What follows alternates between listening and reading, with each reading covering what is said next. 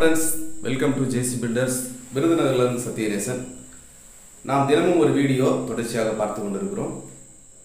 புதுசாக வீடு கட்டுகிறவங்களுக்கு அருமையான செம்மையான ஒரு டிப்ஸு தொடர்ந்து பார்த்து கொண்டிருக்கிறோம்.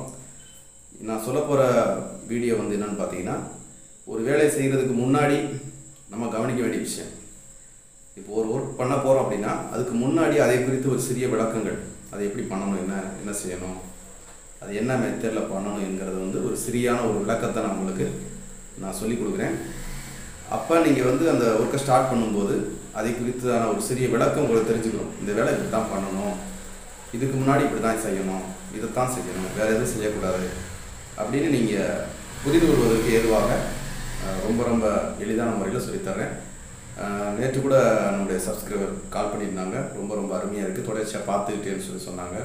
ரொம்ப சந்தோஷம். அதனால் தொடர்ந்து பாருங்கள் வீடு கட்டுகிறவங்களுக்கும் கட்ட போகிறவங்களுக்கும் கண்டிப்பாக யூஸ்ஃபுல்லாக இருக்கும். இன்றைக்கி நம்ம பார்க்க போகிற தலைப்பு வந்து பார்த்திங்கன்னா அதாவது நிலவு ஜன்னல் வைக்கிறதுக்கு முன்னாடி வீட்டுக்கு நிலை ஜன்னல் வைக்கிறதுக்கு முன்னாடி கவனிக்க வேண்டிய விஷயம் என்ன என்பதை இந்த வீடியோவில் பார்க்க போகிறோம் நம்ம வந்து ஏற்கனவே வந்து எந்த இடத்துல நிலம் வருது எந்த இடத்துல ஜன்னல் வருது எந்த இடத்துல வந்து நமக்கு வெண்டிலேட்டர் வரும் எல்லாமே வந்து நம்ம வந்து ஓப்பன் விட்டுருப்போம். சோறு கட்டும்போது ஓப்பன் விட்டுருப்போம்.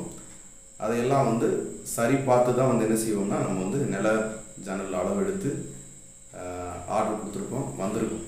அதை வந்து நம்ம சன்ட்ரி மோட்டு பழக பிடிச்ச பிறகு இந்த ஒர்க் பண்ணலாம். அப்படி இல்லாத பட்சத்தில் காங்கிரீட்டு போட்டு ஒரு பத்து நாள் கழித்து அந்த இடத்துல இருக்கிற மண் முட்டுகளை முட்டி எடுத்துட்டு கூட நம்ம என்ன செய்யலாம்? அந்த இடத்துல இருக்கிற ஒரு பத்து நாள் கழித்து அந்த இடத்துல இருக்கிற முட்டு ஒரு முட்டு ரெண்டு முட்டு மட்டும் எடுத்துட்டு நம்ம நிலஜானல் வைக்கிறது. அது எல்லா இடத்துலையும் வழக்கமாக செய்கிறது அதை வைக்கும்போது நீங்கள் கவனித்து கொள்ளுங்கள்.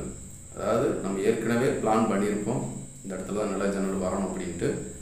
ஒருவேளை நீங்கள் சின்ன ஒரு மாற்றம் பண்ணணும்னா கூட இந்த நேரத்தில் பண்ணுற மாதிரி இருக்கும். ஒருவேளை நில ஜன்னல் வச்ச பிறகு திரும்ப நம்ம அதை எடுத்து உடச்சிட்டு வைக்காத அளவுக்கு வைக்கும் வைக்கும்போதே பார்த்துக்கோங்க.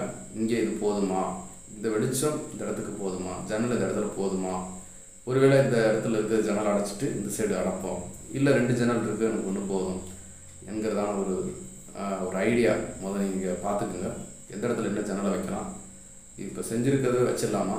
இல்லை எது மாற்றம் பண்ணணுமா? இல்லை குறைக்கணும் அகலத்தை குறைக்கணுமா? இல்லை கூட்டணுமா? என்றெல்லாம் யோசித்து சிந்திச்சு அந்த ஒர்க்கை பண்ணிடுங்க.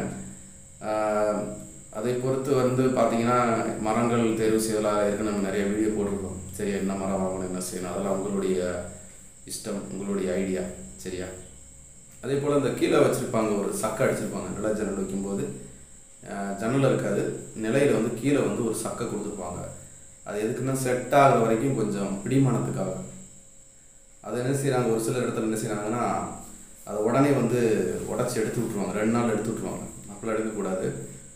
குறைஞ்சது ஒரு பத்து நாளைக்காவது கீழே உள்ள அந்த அதாவது நிலைக்கு கீழே இருக்கிறதான ஒரு சக்கை இருக்கும். அடிச்சிருப்பாங்க. அது ஒரு பத்து நாளைக்காவது இருந்தால் ரொம்ப ரொம்ப நல்லது. அதே போல் அந்த நிலை வைக்கும்போது ஜன்னல் வைக்கும்போது ஓகே ஜன்னலுக்கு வந்து மேலேயும் அதை கலந்துருக்கும் கீழேயும் கலந்துருக்கும் நடுவில் வந்து நம்ம ஜன்னலுக்கு ரெண்டு கிளாம்பு இந்த பக்கம் இந்த பக்கம் வைப்போம் ஆனால் நிலையில் வந்து மேலே கலந்துருக்கும் ரெண்டு கிளாம்பு ரெண்டு இந்த பக்கம் ரெண்டு இந்த பக்கம் ரெண்டு இருக்கும் அப்படி இந்த கிளாம்பு வைக்கும்போது அதாவது நிலையில் வந்து கிளாம்பு வைக்கும்போது என்ன செய்யணும்னா கீழே வந்து என்ன செய்கிறீங்கன்னா ஒரு ஒரு அடிக்கு அல்லது ஒன்றரை அடிக்கு மேலே வந்து அந்த கிளாம்பு அடிச்சிருங்க. அப்போ தான் வந்து நல்லாயிருக்கும். ஒரு சிலர் என்ன செஞ்சிடறாங்கன்னா ரெண்டு கிளாம்புமே மேலே ஏற்றிடுறீங்க அப்போ அந்த கீழே இருக்கிற நிலைக்கு வந்து ஒரு ஷேக் ஆகக்கூடிய வாய்ப்புகள் இருக்குது அதனால் கீழே அளவுக்கு தரையிலேருந்து ஒரு ஒரு அடிக்கு மேலே ஒரு கிளாம்பும் அடுத்து மேலேருந்து சென்ட்ராகும். அந்த மாதிரி அடிச்சிட்டிங்கன்னா கொஞ்சம் நல்லாயிருக்கும். இப்போ நம்ம நானுமே வந்து முதல் வந்து மேலே தான் கிளாம்பு கொஞ்சம் உயரமாக தான் அடிச்சுக்கிட்டு இருந்தோம். அடுத்து பார்த்தோம் அது வந்து எங்களுக்கு சரியாக முறையில் செட் ஆகிற மாதிரி தெரியாதனால இப்போ நாங்கள் மாற்றிக்கிட்டோம் அதைத்தான் உங்களுக்கும் சொல்லிக் கொடுப்போம். அதனால் நில ஜன்னல் வைக்கிறதுக்கு முன்னாடி கவனிக்க வேண்டிய விஷயம் எந்த அளவில் வைக்கலாம் இப்போ வச்சிருக்கிறது போதுமா இல்லை மாற்றம் பண்ணணுமா என்பதை இப்போதே சரி செய்து விடுங்கள். ஏன்னா அடுத்து வந்து நம்ம வந்து பூச்சி வேலையை ஸ்டார்ட் பண்ணிடுவோம். நான் வரப்போகிற நாட்கள் அடுத்து இன்றைக்கி நம்ம நில ஜன்னல் வச்சுட்டோம் அப்படின்னா அடுத்து என்ன வேலை அப்படிங்கிறது அடுத்த வீடியோவில் நான் வந்து நான் சொல்லுவேன். அதனால் வந்து பூச்சி வேலை ஆரம்பிக்கிறதுக்கு முன்னாடி இந்த காரியங்களெல்லாம் நம்ம வந்து செட்டிலைட் பண்ணிவிட்டு நம்ம அடுத்த பகுதிக்கு கடந்து செல்வோம். சரியா? அதனால் நல்லா பிளான் பண்ணி ஒரு ஒரு வேளை ஒரு சில இடத்துல கிரில் வந்திருக்கலாம். ஒரு சில கிரில் போட்டிங்கன்னா யூபிவிசி டோர் கூட போதுமாக இருக்கும். சரியா? அதெல்லாம் வந்து ஐடியா பண்ணிக்கோங்க ஆலோசனை பண்ணிக்கோங்க. குடும்பமாக யோசித்து இந்த முடிவை எடுங்கள். ஓகே இந்த வீடியோ குறித்து உள்ள கருத்துக்களை மறக்காமல் தெரிவிங்க. நாளைக்கு என்ன வீடியோங்கிறத வந்து நாளைக்கு பார்க்கலாம். ஓகே தேங்க்யூ மீண்டும் அடுத்த வீடியோ சந்திப்போம். பாய்